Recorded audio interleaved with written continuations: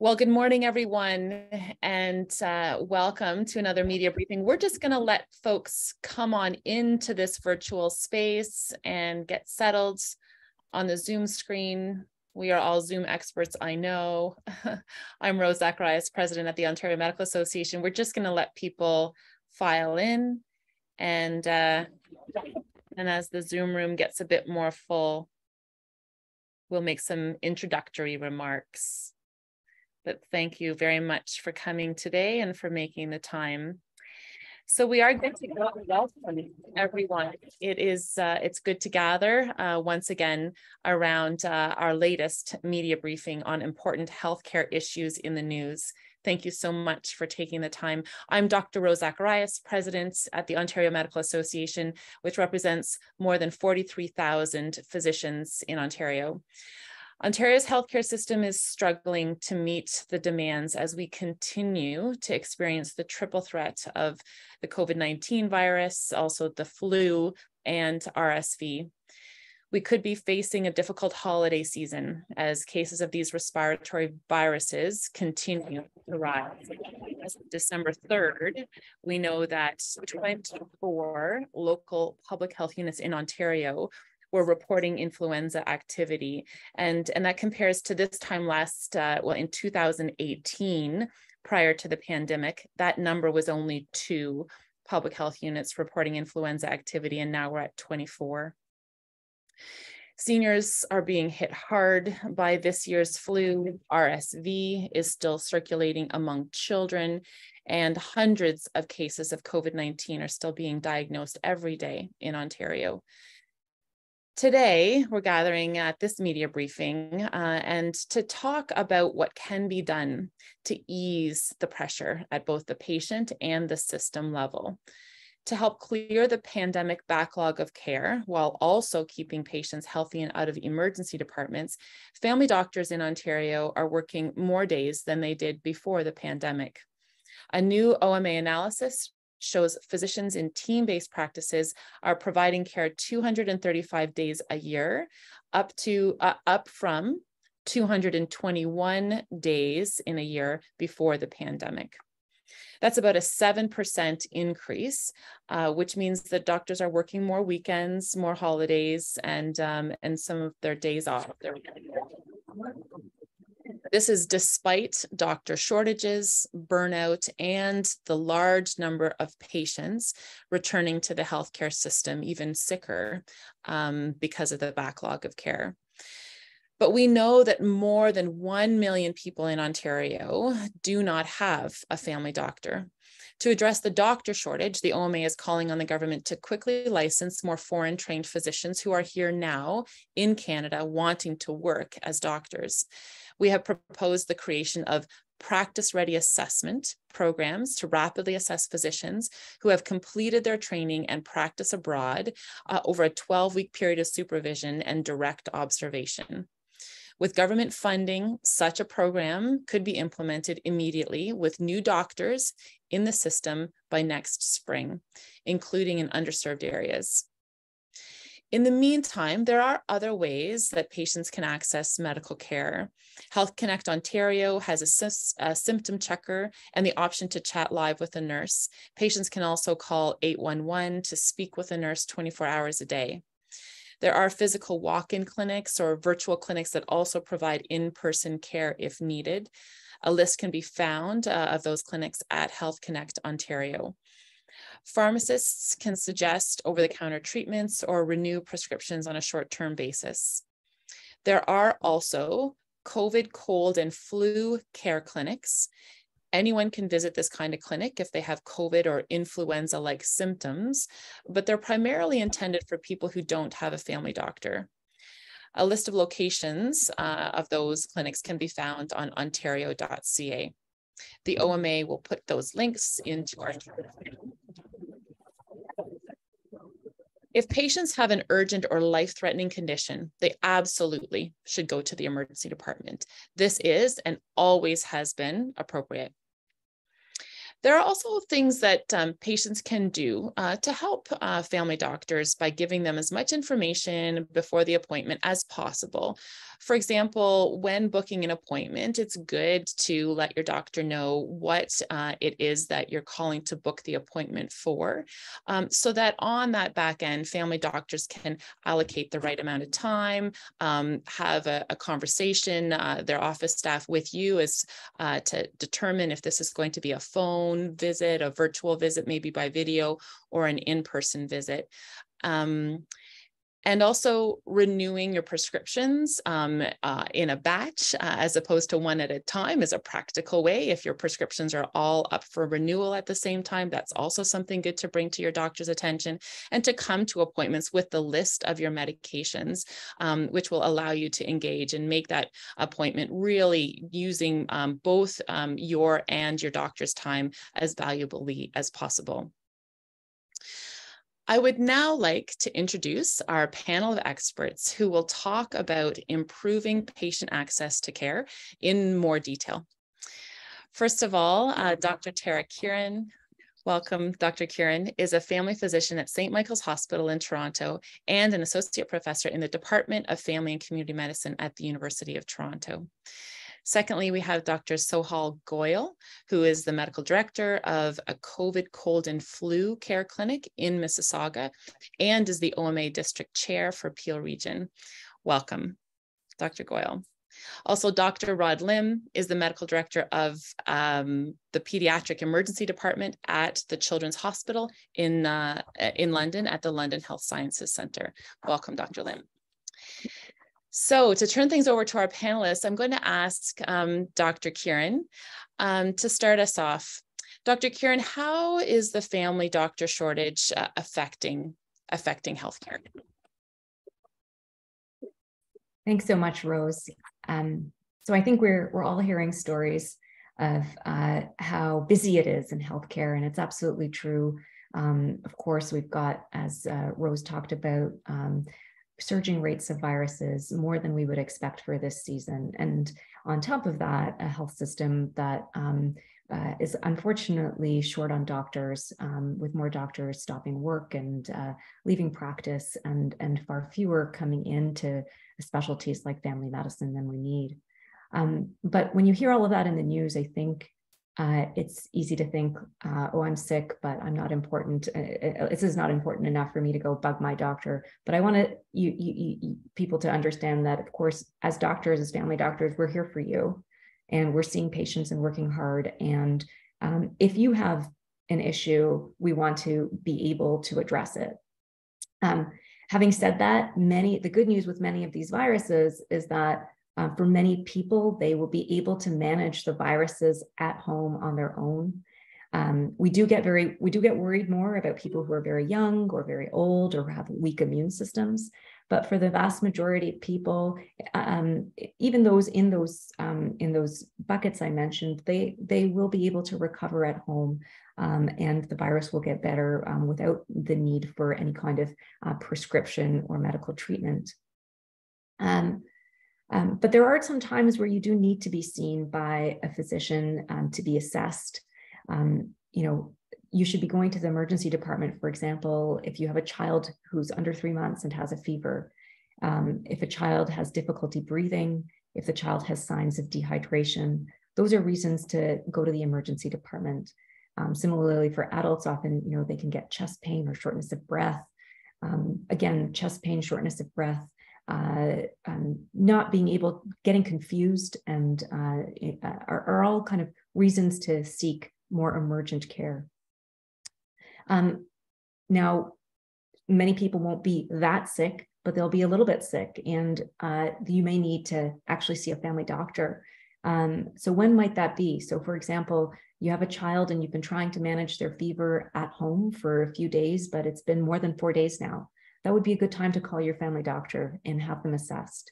Um, or perhaps they have an earache that's lasting more than two days, a severe sore throat, um, uh, or a child who's irritable and fussy even after you've given them some some um, fever medication, or they're not drinking. Um, we know sick, children who are sick often don't eat, but when they're not drinking, um, we get worried about dehydration. So those are all reasons why you might be able, you want to visit a family doctor. We would want to examine you. We want to take a look in the ears and the throat um, and listen to the chest and uh, ensure that a child, for example, is not um, getting dehydrated. Um, you would also want to seek care if you're, you know, um, an older age, if you're 60 or older, if you're immunocompromised, if you haven't had actually um, your COVID vaccines, or if it's been actually more than a year since you've had a COVID vaccine, uh, and and you're 60 years or older. Um, one of the things that you know is is tricky is that we can't actually often tell just from symptoms. Well, we can't tell just from symptoms whether someone has a flu virus or a COVID virus.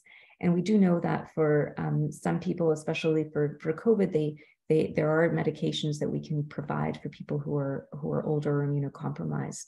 Um, those medications actually can be um, provided at a pharmacy now, but they can also be provided at those um, assessment centers that um, uh, uh, Dr. Zacharias mentioned early in the in the briefing. If you're not sure where to go, because I've presented already a lot of information that might be um, tricky for folks, um, as Rose mentioned, you should definitely uh, contact Health Connect Ontario where you can speak with that live nurse. Um, we want you to stay safe this winter. And what does that mean? That means um, prevention is better than treatment. So get your COVID vaccine, get your flu vaccine. Um, and, and this is especially important actually for young children and those who are, are older again. Um, wear a mask in indoor crowded settings, stay home when you're sick, um, and wash your hands. So these we need to just go back to the basics and ensure that we're doing those things to keep ourselves safe. Um, Leslie, I do want to acknowledge, I know it's really frustrating for those of you who don't actually have a family doctor right now. And uh, we know that our current estimates, even before, well, I should say estimates before the pandemic were that 1.8 million people in Ontario didn't have a family doctor. And we know that that problem is only getting worse with um, doctors having left practiced uh, in, in higher degrees during the pandemic. And many doctors, um, you know, now burning out, um, sometimes facing illness themselves due to the pandemic. So uh, if you don't have a family doctor, there are still ways for you to get care. Um, Health Connect Ontario is a really good starting point. As um, Dr. Zacharias mentioned, there are also uh, walk-in clinics that you can attend and urgent care clinics. Um, but it is important to seek care if you are not feeling well in the ways that I described earlier. Uh, and our system does need to do more to ensure that all of you do have access to a family doctor and uh, we're advocating for things like um, ensuring, for example, that every family doctor in Ontario has access to working with a team uh, to allow them to actually see more patients. So those are the kinds of very tangible solutions many of us are trying to put forward to say if, if we had those solutions, um, hopefully we could do something to actually um, ease the burden of people who don't have a family doctor right now. Thank you. Thank you so much, Dr. Kiran. Uh, really appreciate uh, all of that very practical advice. Now I'd like to turn things over to Dr. Goyal, uh, the medical director of a COVID cold and flu care clinic in Mississauga, the first of its kind really in Ontario. Dr. Goyal, what do centers uh, like yours offer? Could you describe that to us, please? And um, where can patients find information on such clinics in their area? And who should be seeking treatment there? Dr. Goyal. Uh, thank you very much, uh, Dr. Zacharias. Um, as mentioned, we were one of the first uh, COVID cold and flu care clinics in Ontario. Uh, COVID, cold, and flu care clinics are community based medical clinics that can test, assess, and treat patients with respiratory illnesses such as COVID 19 and influenza. This clinic model started last year, and as mentioned, the model has been replicated across the province. Currently, in our region, in Central Region, there are 25 clinics and 101 across the province that provide testing, assessments, and treatments to patients in the community. These clinics are staffed by physicians, nurses, and other team members and treat children as well as adults. Patients should visit a COVID, cold, and flu care clinic if they do not have a primary care provider and their symptoms or their child's symptoms are getting worse or not improved. In addition, some patients to a COVID cold and flu care clinic by their physician or other healthcare provider. Finally, any patient that is symptomatic and at high risk of getting very sick from COVID-19, as mentioned earlier, and qualifies for COVID-19 testing and treatment should consider visiting one of these clinics. Appointments can be made the same day or next day at these clinics, and they've been successful in decreasing emergency room visits. Since these clinics have started,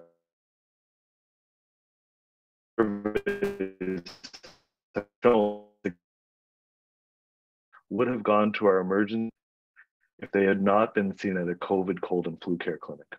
As a physician working and leading the clinic, it's very satisfying to be providing this type of service to the community, knowing that we are not only treating vulnerable patients with acute respiratory illness, but effectively diverting some of the volume from our local hospitals. So thank you for giving me the opportunity to describe these clinics and certainly be happy to answer more questions as we move forward.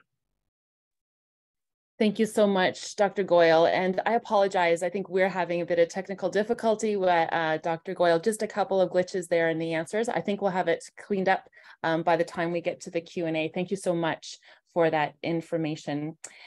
Also, we'd like to move on to uh, Dr. Rod Lim. Uh, thank you so much for joining us, Dr. Rod Lim. You, of course, bring us the pediatrics emergency uh, department perspective. And so I'd like to uh, just have you open up and, and tell us um, when should you go to an emergency department and what can you expect there? Um, how is the triple threat, the COVID, RSV, influenza viruses that are still circulating impacting children specifically? Thank you so much, Dr. Lim. Thank you very much, Dr. Zacharias. Um, currently, emergency departments uh, and the healthcare system in general are still experiencing extreme stress.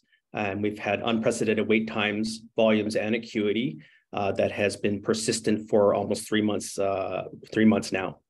All hospitals with pediatric patients are currently experiencing occupancy at 100%. And at the tertiary pediatric hospital level, the volumes are in, in excess of 118%. Amongst children right now, we're seeing influenza A as the predominant virus. Uh, this is causing higher acuity uh, due to a lot of the complications related to influenza. This is stressing our inpatient and ICU capacity, and I think hospitals are working better than ever, uh, trying to transfer and to increase capacity for children in this province. COVID and RSV continue to circulate as well, and the uh, tridemic, unfortunately, uh, is continuing. We do anticipate a rise in adult cases over the next two to three weeks, which usually follows the, the peak in pediatric patients.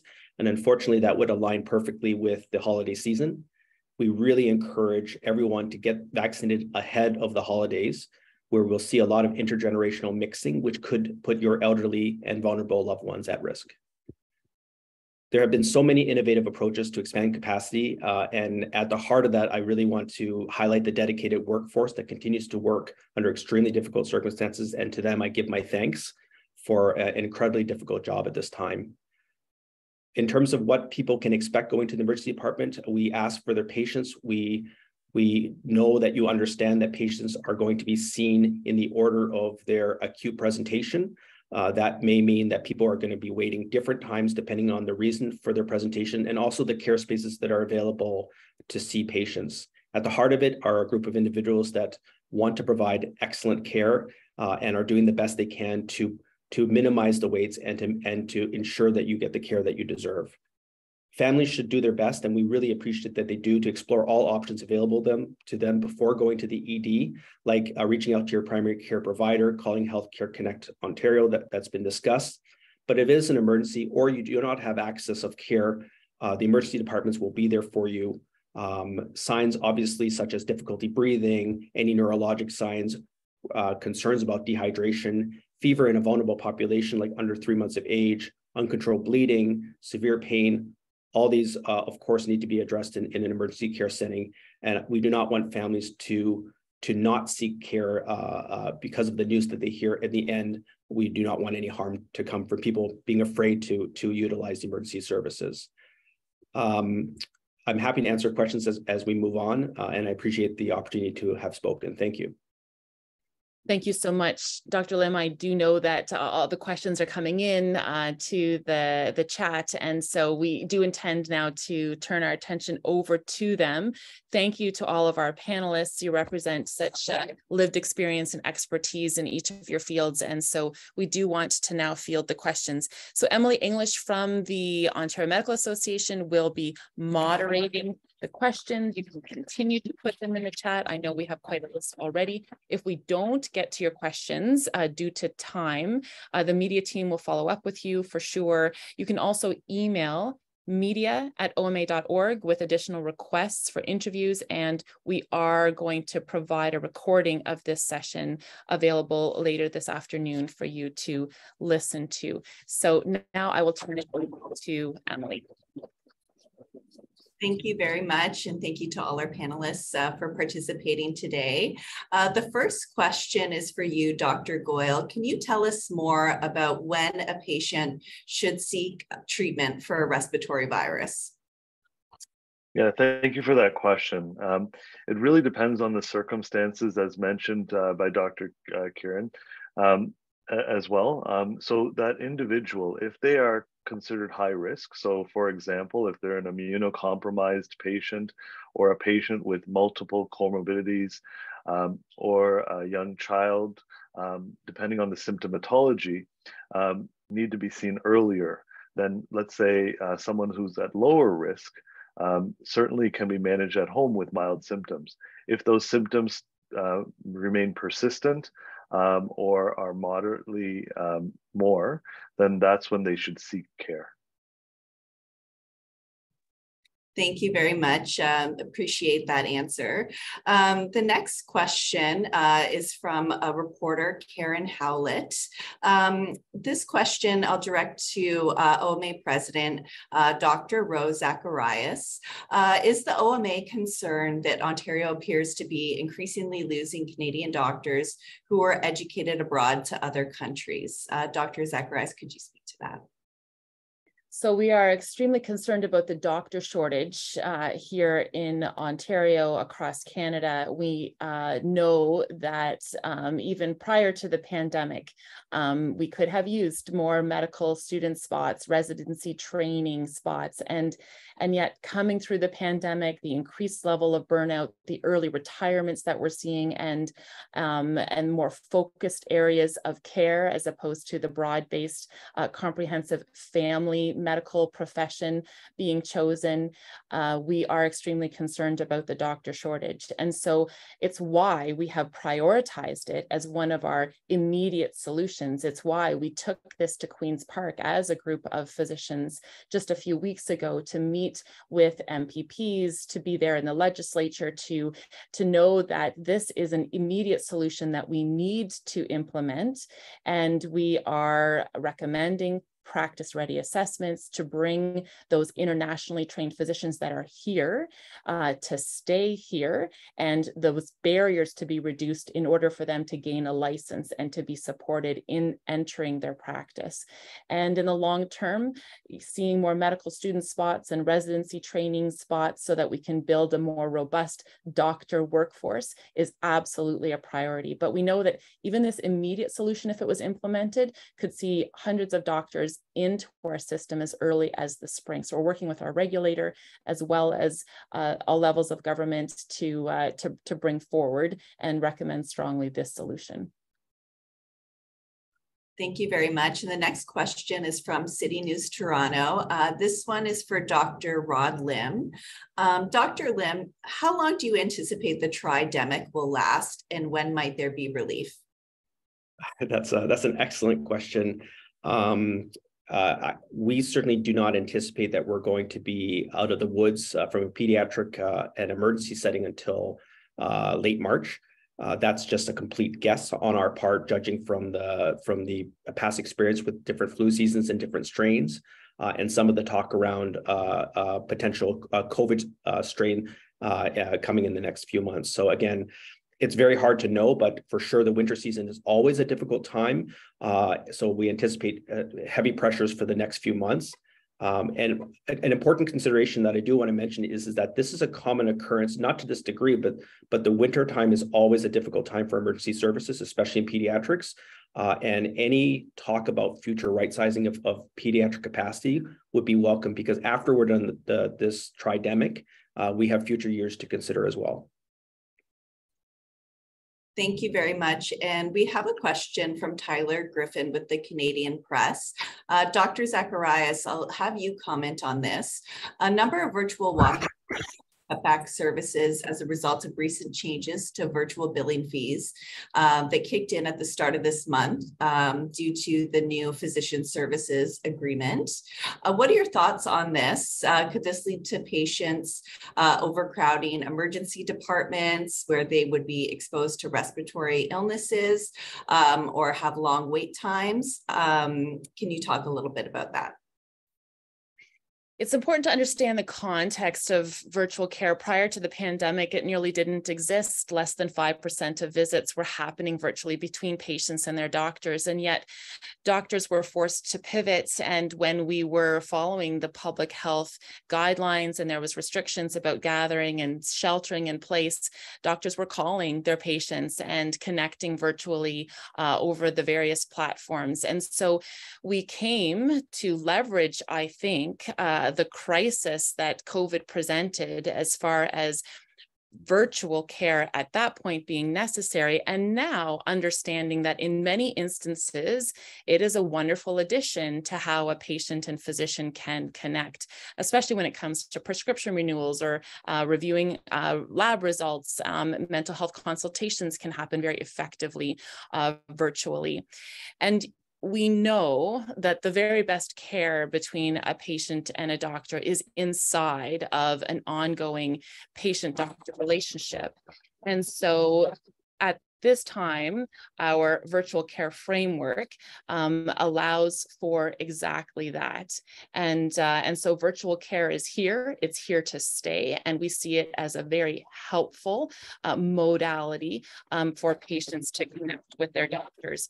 Um, and we know that the best care is inside that patient-doctor relationship. Of course, we have the challenges that we mentioned that we don't have enough doctors. And so that's why we're recommending the, the, the implementation of those solutions. Um, but just getting back a bit to uh, to some data that um, we really ground um, our understanding in. A study funded by the Canadian Institute of Health Research did compare people who'd visited their family doctor virtually with people who visited a virtual only walk-in clinic and the study found that the virtual walk-in patients were twice as likely to have an emergency department within visit within 30 days and so we want when people to connect with doctors for there to be an ability when the patient presents that if they need to be seen and examined that that would be able to happen. Because otherwise a patient is left in a very difficult situation when they've already interacted with a physician virtually and then are unable to complete that assessment to follow up that assessment because there's no opportunity for that physician to see the patient. So this is the model of care that we know is best, and it is the model of care that we we stand behind. And so here we are at this point in uh, December 2022 um, with virtual care implemented into our care strategy in that way. Thank you. Thank you. And Dr. Tara Kiran, um, I know you've done some work in this area, so um, can we please get your thoughts? Yes, so I was, I was actually the senior uh, author on the study that Rose mentioned, so I just wanted to make sure that we were able to to cite that because I think um, there are limits to virtual care, and in particular, there are limits to virtual only walk-in clinic care. Um, and it's that kind of care that I think is not necessarily providing our system the best use of resources. Um, certainly, um, in my opening remarks, I gave many examples of when it is that you need to seek um, care. Uh, and in all of those cases, you need to be examined by someone. Uh, someone needs to look in your ears, in your throat, uh, listen to your chest, um, understand uh, if there is something else that's going on or something that's requiring treatment. And that really can only happen in person. Um, um, I think Ro uh, Rose also mentioned at the beginning that you know if, if you're not clear on, on where to go you can call um, health connect ontario and they would do they would do that virtual assessment through through that nurse um, if you so and and they would direct you to say okay no actually you do need to be seen in person. So uh, the virtual so i just wanted to to to highlight those points that um, rose made that you know virtual only walk-in clinics may actually be resulting in more churn um, more cost to our system. That's what some of the research that we are actually uh, that generated uh, suggest Thank you very much uh, for that answer. The next question is for Dr. Goyal. This one comes from the Cambridge Times. Can you tell us how concerned we should be about variants right now? Yeah, great question. Um, certainly, um, you know, we're seeing less COVID uh, right now in our clinic, as Dr. Lim mentioned. Um, we're seeing more um, respiratory viral illnesses, including influenza, amongst our pediatric as well as um, our elderly population. And we've certainly some of the trends we've seen are pointing towards more um, non-COVID type illnesses.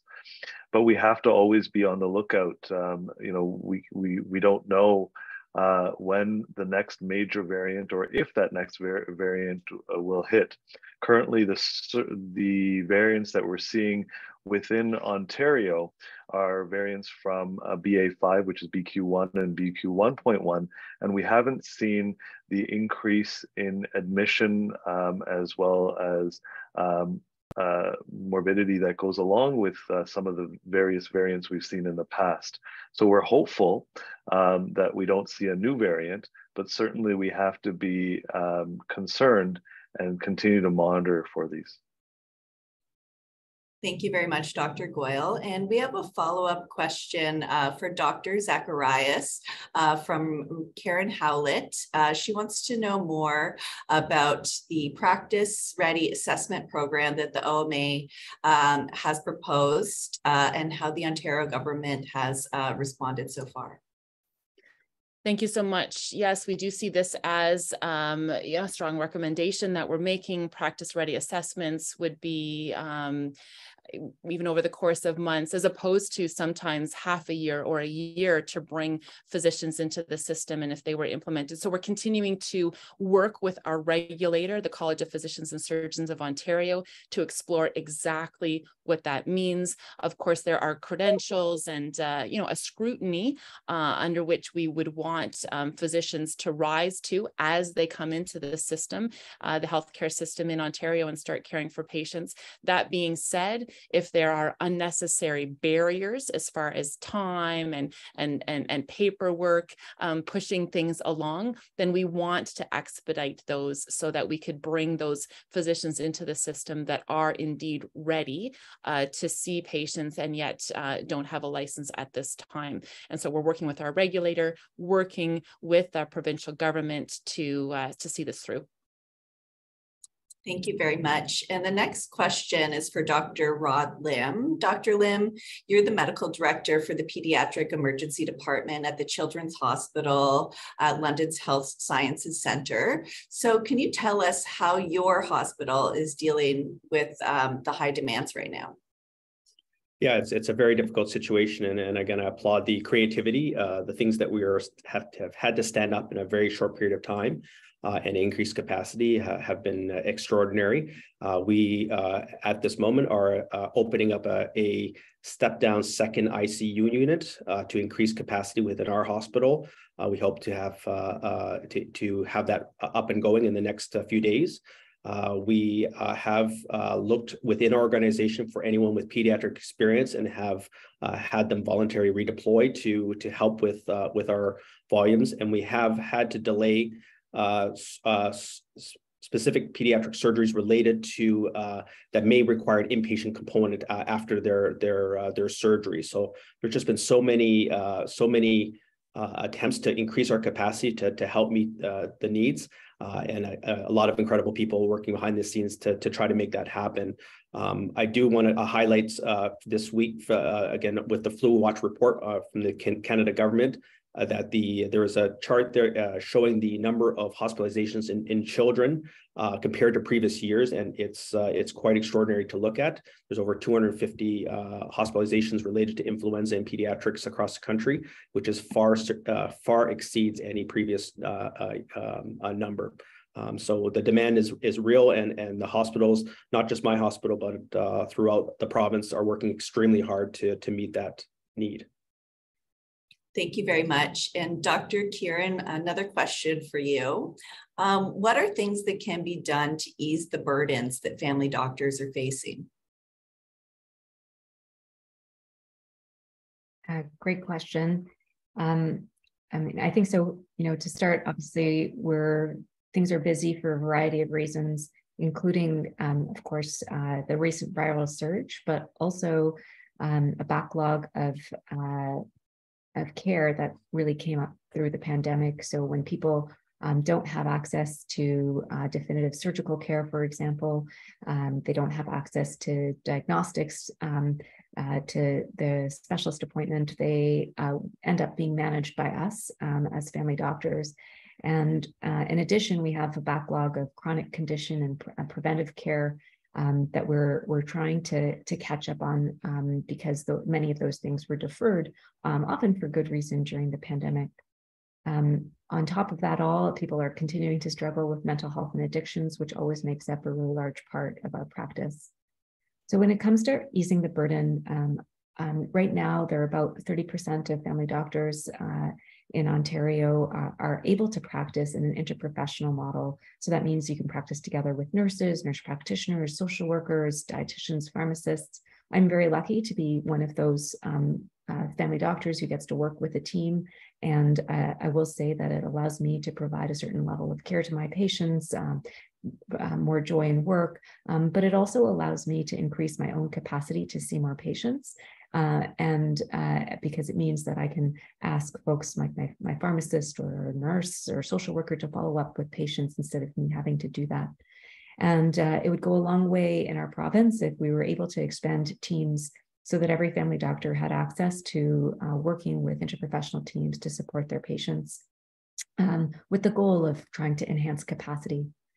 I think the other areas that we need to do better include, um, for example, trying to reduce administrative workload and burden.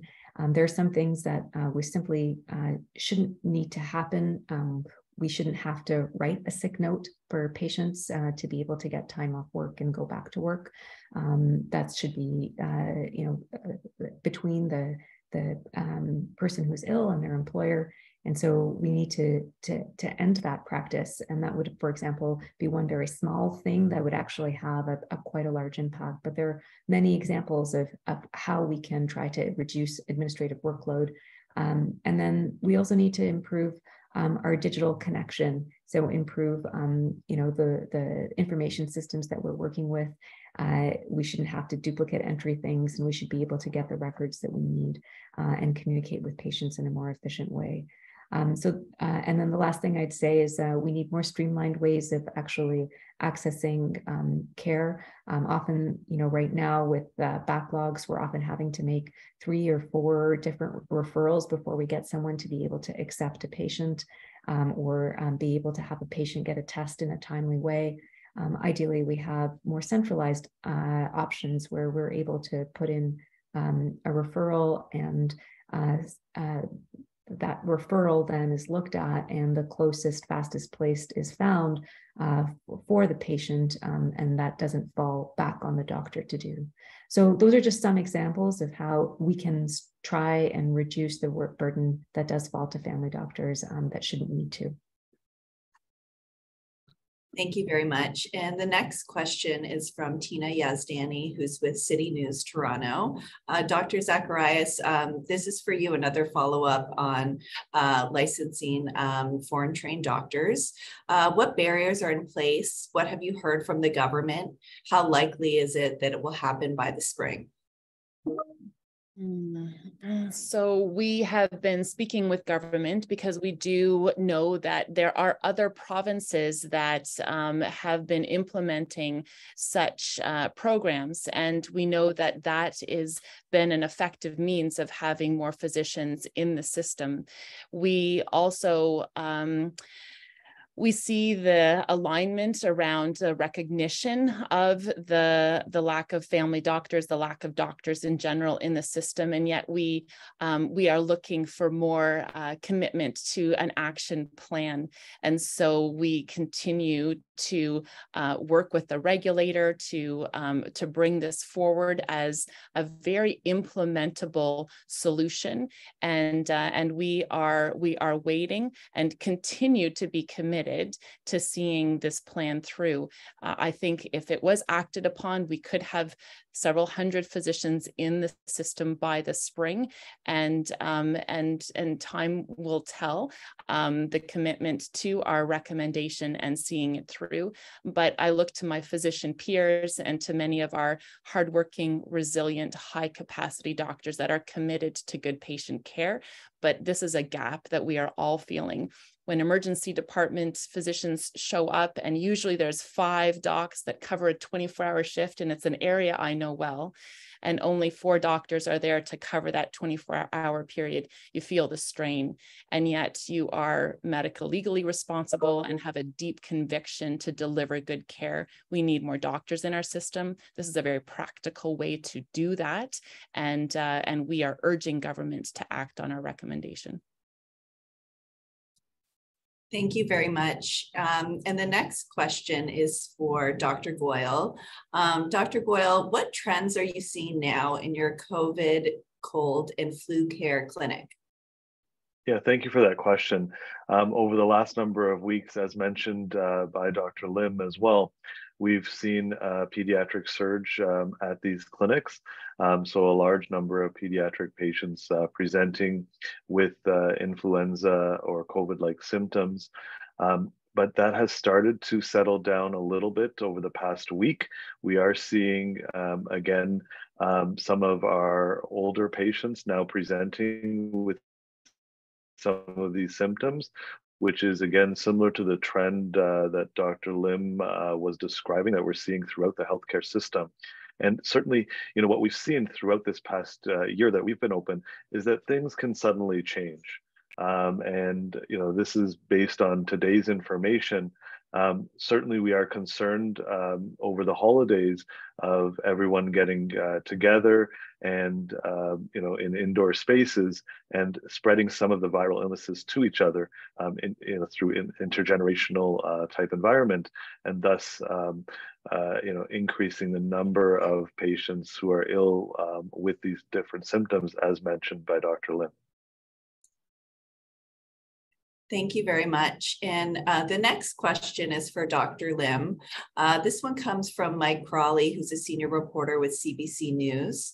Uh, Dr. Lim, you mentioned the impact of influenza on child hospitalizations when there were six deaths linked to the flu among children in BC, officials there made numbers public and encouraged vaccination. But here in Ontario, the Ministry of Health officials have not been willing to report how many children have died with the flu. Should Ontario be making these numbers public? Why or why not? Yeah, that, that's a great question. Uh, and there are a lot of factors to just to be fair in terms of uh, accuracy of reporting and, and timelines. As we know, uh, according to Flu Watch Canada, which was reporting back to the to up to December 3rd. Uh, officially, there are five uh, pediatric influenza deaths across the country, but we know from reporting from British Columbia that that they, uh, with advanced numbers, uh, feel that th they have a more accurate number of what's going on uh, in in their situation. I find it hard to believe that the with the numbers of, of hospitalizations that we're seeing that across the country, the trends that are being reported out of British Columbia, I'm sure are going to be mirrored across the across the, the country, including Ontario. Um, I think uh, if the numbers are accurate and reliable, that kind of information can help inform the public and can be useful to encourage uh, people to to uh, to seek and and listen to public health uh, um, uh, advice. Um, so um, I, I, think we know that this is an extremely difficult influenza se uh, season across Canada. The numbers will come out. Uh, I, I, can't uh, comment as to the timing, um, but I think the most important thing for people to take away is for us all to take our responsibility and, and this seriously and to listen to public health. Thank you very much. And the next question is uh, for Dr. Zacharias. This one comes from the Cambridge Times. Would you be able to comment on whether privatization of healthcare or a combination of public and privatized health uh, healthcare could help the current healthcare crisis? And if so, what might this look like? Mm.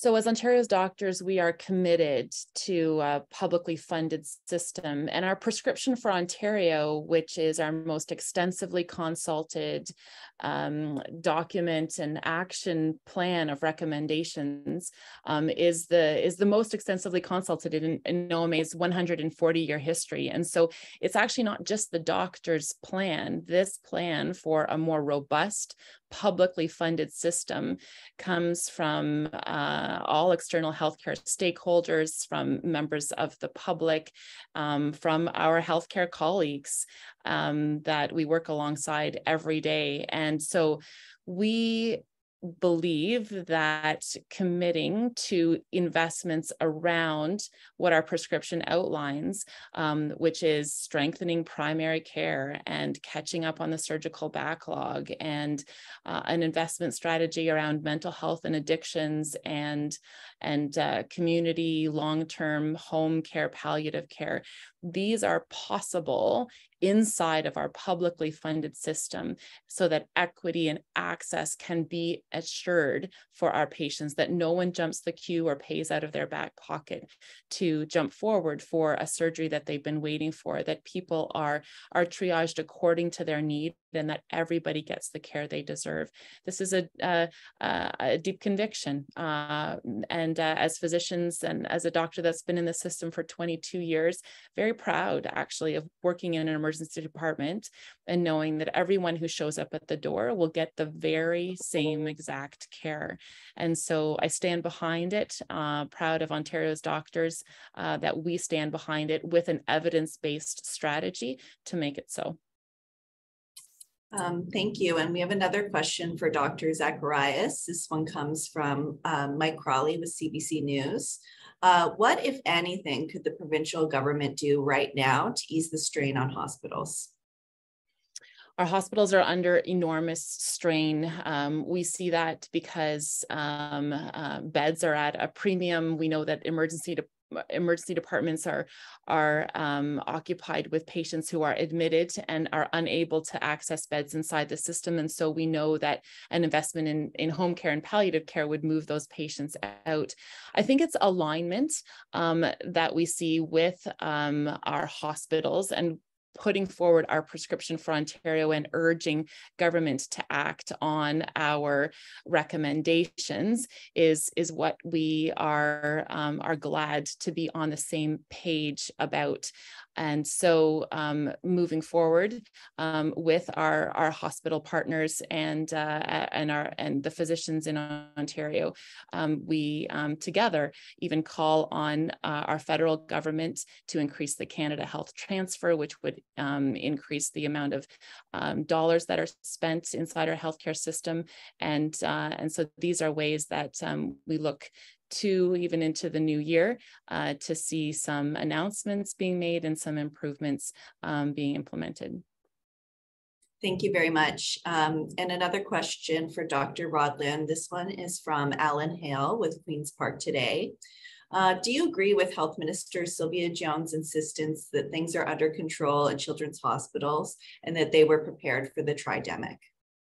Well, I'll, echo Dr. Uh, Zacharias' comments that hospitals are under extreme pressure, and I've never seen people work harder and be more creative and innovative uh, during this incredibly difficult time. Um, I would like to point out that I think what we have learned from this is that we need to have a, an honest conversation about capacity uh, and capacity in times of surges, which in pediatric hospitals always occur in the winter season. I think uh, hopefully we've all learned that running hospitals at or near 100% capacity limits the ability for us to to respond to anticipated or unanticipated surges uh, in a in a in a timely and orderly fashion. I think the other thing that I would really like to bring up is that the the system right now has really responded. I'm so proud to, from all layers, either from primary care, from the community pediatricians to, to community hospitals, to tertiary care hospitals, to really respond to this, this overwhelming challenge that we're facing right now. This degree of coordination, I think, has never been seen before. And I hope that we take from this a lot of those lessons uh, to move forward. But at the heart of that are people that are working exceedingly hard, long hours for a prolonged period of time now. And I think we also need to have an honest discussion about how do we support healthcare workers, uh, not just now, but into the future. Uh, and I think that that is by far the most important thing. And I hope that we can all look back at this and not let this, uh, once this hopefully eases, not just let this uh, go into our rearview mirror, but have some honest conversations moving forward. Thank you very much. And the next question is for Dr. Kiran. Um, Dr. Kiran, can you tell us, has the pandemic made the family doctor shortage worse? Unfortunately, it, it certainly has. So um, even prior to the pandemic, um, 1.8 million people in Ontario didn't have a family doctor, a regular family doctor. And some of the research we've done showed that um, in the first six months of the pandemic, uh, twice as many family doctors stopped working as would have been expected uh, based on trends from the previous decade. And then we've also done research, uh, survey based research uh, back in 2021, asking people about their future practice intentions um, uh, from, among family doctors in the Toronto area. And we um, found that unfortunately, 17% or almost one in five family doctors in the Toronto area um, were thinking of closing their practice in the next five years. So, really worrying. Um, what are the reasons for this? They're multifactorial, but um, from the data, we see that many of the people who are thinking of closing practice are, in fact, um, older physicians. They're um, maybe six over 65, over 70. Uh, they're often male. Um, they're often uh, operating a solo practice, um, so not working with other other doctors. We know those types of practices, um, running your own business, um, running them by yourselves, has become was even more challenging during the pandemic. And we know that many older doctors, you know, uh, were probably heading towards retirement anyway, but this pandemic probably nudged them um, for a number of reasons, including their own personal health concerns.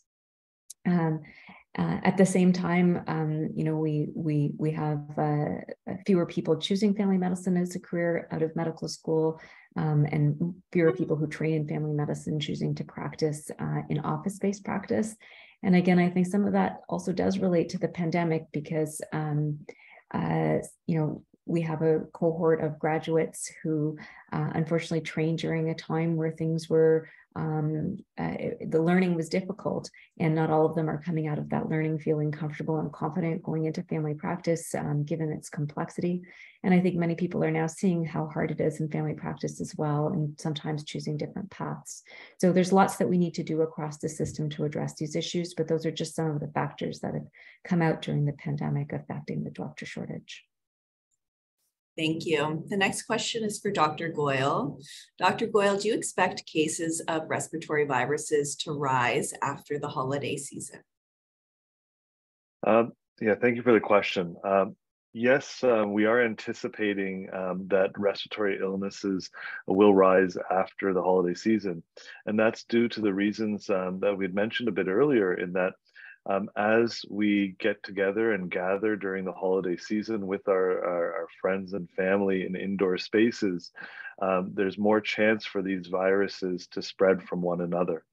So we encourage um, all of you to consider, um, again, uh, updating your vaccines, um, your COVID-19 vaccines, especially for our, our most vulnerable patients, um, ensuring that uh, every Ontarian has uh, gets a flu shot to again uh, decrease the likelihood of spreading that influenza virus to each other, as well as um, doing our best to wear masks in indoor spaces as much as possible and washing our hands. These simple measures will hopefully have an impact to decrease the increase to decrease the number of patients that we expect to present uh, with uh, viral illnesses post uh, holiday season.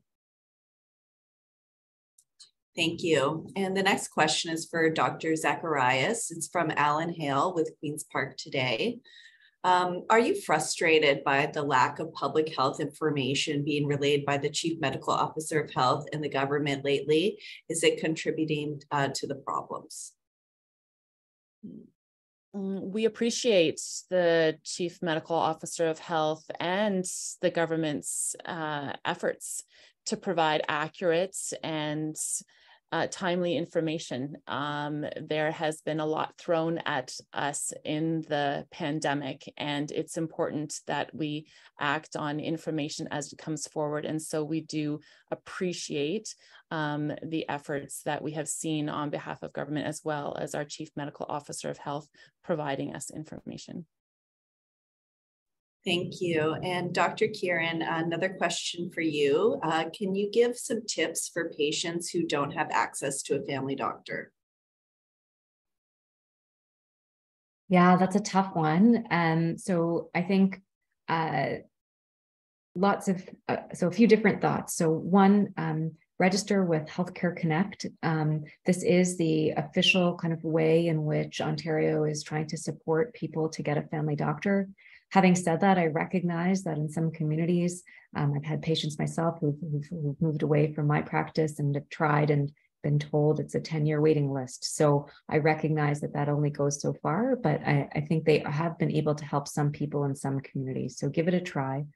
I also always recommend um, looking to see if there is a, a medical school um, in your area where family doctors are being trained um, because uh, uh, often fam- family training clinics, family medicine training clinics are accepting new patients. And uh, being a patient of a resident physician actually uh, is wonderful because you get two doctors often for the price of one, both a resident and a staff physician. Um, of course, um, the, the resource that was put, put out um, right at the start uh, uh of this call by Dr. Zacharias um, Health Connect Ontario is a terrific one. So if you don't have a family doctor, they actually can um, obviously direct you as to where you should go for care, whether you do need to actually see a walk-in clinic doctor, for example, or go to the emergency department. But importantly, sometimes something that I think people don't uh, necessarily realize is that they can also help with certain aspects of preventive care. So for example, um, I believe they can arrange for you to get a, a fecal immunochemical test, which is the screening test test for colorectal cancer. So if you're 50 and over and you know you're due for uh, uh, colorectal cancer screening, but you don't have a family doctor, you can access it through um, Health Connect Ontario. Um, they could probably facilitate you, uh, help you to understand, um, you know, how you could self-refer for a mammogram if you're a woman over 50 and need a screening test. So they're a wonderful resource beyond actually even just um, an acute care or a, a, an urgent issue. Um, lastly, I do think that, um, you know, uh, often we are going to Google, uh, Dr. Google, but it is really important to um, go to trusted websites. Um, one website I often refer my patients to, uh, it is a US based website, but I refer patients to the Mayo Clinic's website where they do have a lot of really um, good information about different kinds of conditions and their management. Um, and as Dr. Zacharias mentioned at the beginning, when it comes to uh, feeling uh, when, uh, symptoms of um, viral symptoms in this current season, uh, there's the symptom checker um, and uh, some really good information uh, on the Ministry of Health website that I, I believe will be put into the chat as well. Thank you very much. And thank you to all our panelists uh, for participating today and all the media who attended and asked questions. I'm going to pass it over to OMA uh, President Dr. Rose Zacharias, who has some closing remarks. Thank you, Emily. And yes, thank you so much to our, our panelists, Drs. Kiran, Goyal, and Lim, uh, for bringing us your insights and, and expertise. And, uh, and, and thank you so much for attending today's media briefing and for your thoughtful questions. I, I think we may not have got to every single question before our hour was up. And so once again, uh, to remind you that you can email media at oma.org. Uh, the media team will follow up with any uh, questions that weren't answered. You can make requests for media interviews and we will follow up with those as well. And uh, we hope the information shared today um, was really helpful, especially this time of year. And uh, and just to remind uh, everyone getting their flu shot and their COVID nineteen boosters, and um, and and to head into these next weeks as prepared as we can possibly be. Thank you, everyone, for your time today. Bye.